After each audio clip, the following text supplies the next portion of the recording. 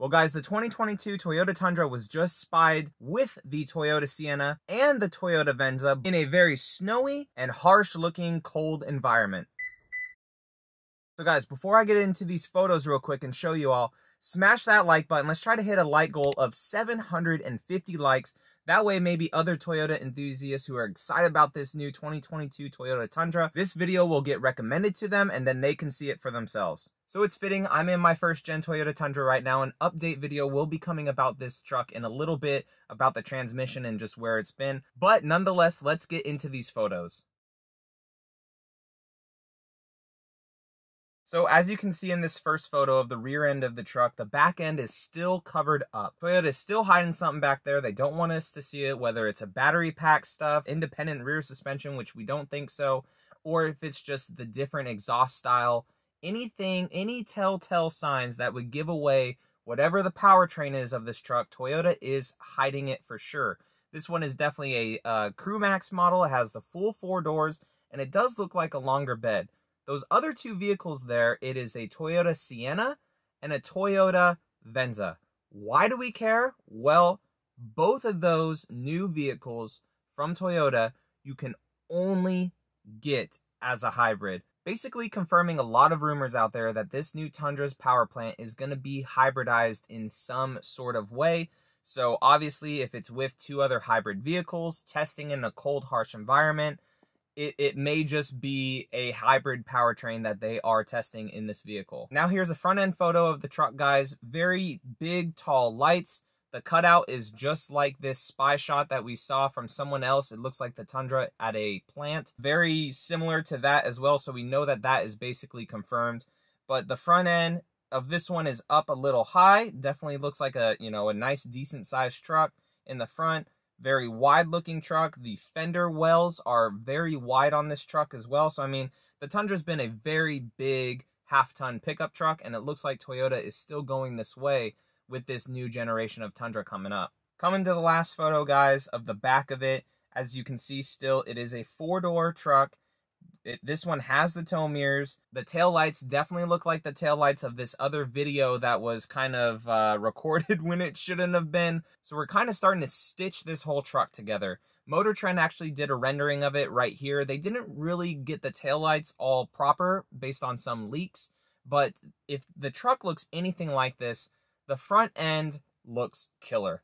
I love the front end. It may not be for some of you. You guys let me know down in the comments but it basically looks like an overgrown size of a Toyota 4Runner with some different headlights essentially. So it has that same contour of a 4Runner grill, of a Tundra grill, of a Tacoma grill of the current generation, but just more modernized with these newer lights and a lot of good lines and stuff in the front end of that truck. It looks it looks really good. This truck, though, as you can see with the uh, rear glass, hopefully Toyota still keeps the full back glass that goes all the way down. They, they did it with the first gen. It's still there with the second gen, so hopefully the third gen has that.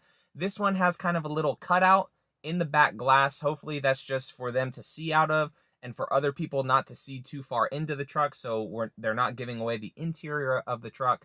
But hopefully that full back glass does go down.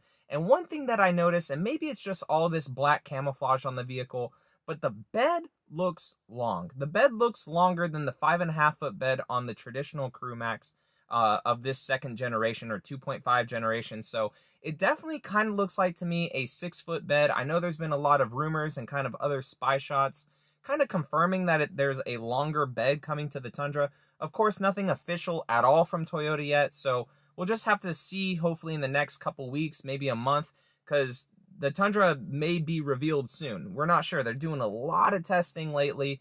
These photos, along with other photos, are just starting to surface more and more. Um, these ones were actually found on a Facebook group, a Tundra Facebook group, and then sent to me over on Instagram. So the truck is definitely coming along. Toyota was caught testing it in Los Angeles when it was hot um, going through mountains and stuff, probably of California and Nevada and Arizona.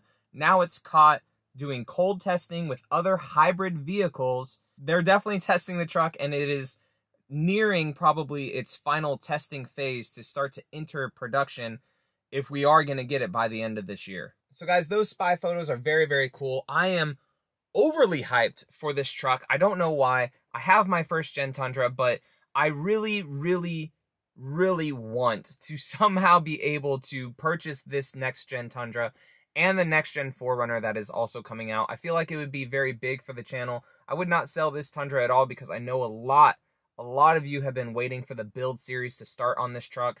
This truck basically just has some transmission problems. It was going in and out of overdrive. It would shutter to go into overdrive. So we are still troubleshooting and fixing things on this truck, but it is in a good driving state, basically. Like I said, another update will come later on that.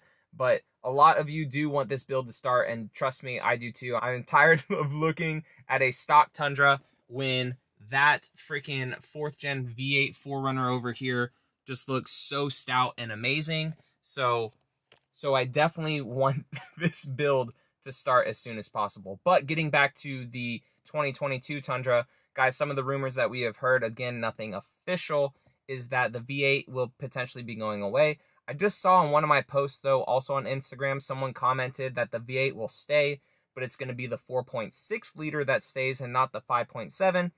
Again, have no idea because Toyota has only put the 5.7 in the Tundra for a few years now, I believe. Correct me if I'm wrong, Tundra guys. But some of the rumors are it's going to be a twin turbocharged, probably the 3.5 liter from the Lexus uh, side of the house that is going to be in that vehicle. And then also a hybridized powertrain, whether it's a hybridized transmission or if it's an electronic assisted motors to some of the wheels. Not 100% sure yet.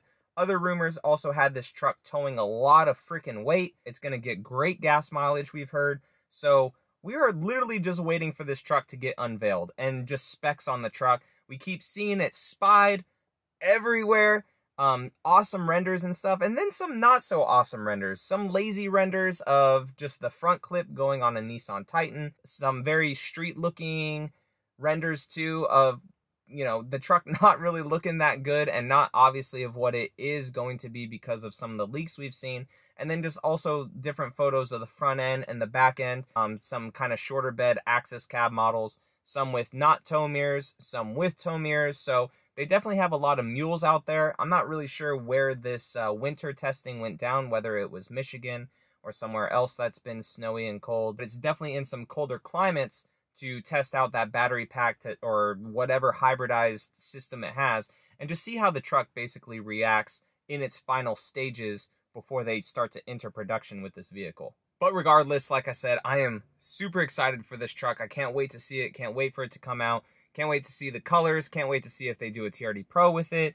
What sort of trim levels they have. It's going to be game changing for Toyota to say the least because the current generation of Tundra I feel like is 13 years old now, 14 years old. There's obviously been refreshes, but the second generation and 2.5 have been around since 2007 and then 2014 I feel like was the kind of refresh facelift interior refresh of that truck. So it's definitely definitely been a long time coming. So excited to see what they finally come out with. So guys, if you are new around here, definitely consider subscribing. If you are returning subscribers, guys, I appreciate your support and I will catch you in the next video.